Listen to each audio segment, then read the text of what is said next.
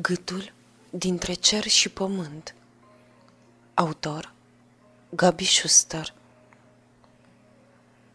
De la prima clipă, care era pătrată și scotea un zgomot literă vârf, literă vârf, rostogolindu-se către următoarea, nu mai am amintiri.